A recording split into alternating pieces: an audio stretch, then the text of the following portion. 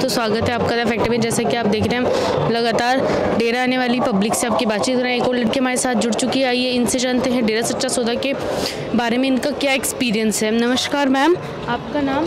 भावना। कितने समय से आप डेरा सच्चा सौदा से जुड़े हुए हैं? जब से हो संभाला है। यहाँ का माहौल एनवायरनमेंट कैसा लगता है आपको? बहुत बहुत अच्छा। क्यों अच्छा लगता है यहाँ का माहौल आपको? यहाँ पर आकर पता ही नहीं चलता कब टाइम मतलब बीत गया। संत जी का स्वभाव कैसा है? बहुत अच्छा।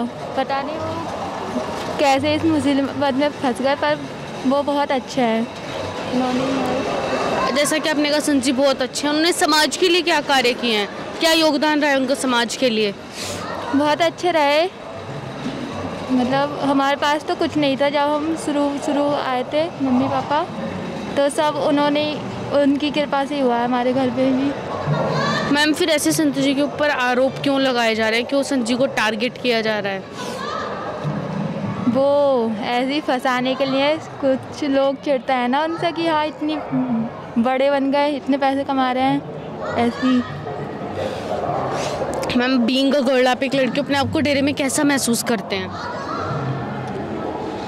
बहुत कैसा महसूस करते हैं अपने सेफ्टी को लेकर क्या कहना चाहेंगे आप? कैसी है डेरा सच्चा सौदा में लड़कियों की सुरक्षा?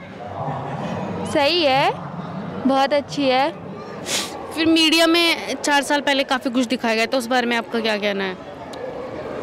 वो जो भी था वो तो झूठ ही दिखाया गया था उन्हें फंसाने के लिए पिताजी को।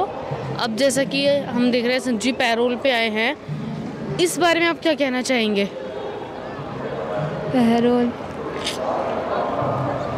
सरकार से आप क्या अपील करना चाहोगे? सरकार से तो बस ये यही प्रार्थना है कि जल्दी पिताजी यहाँ पर आए।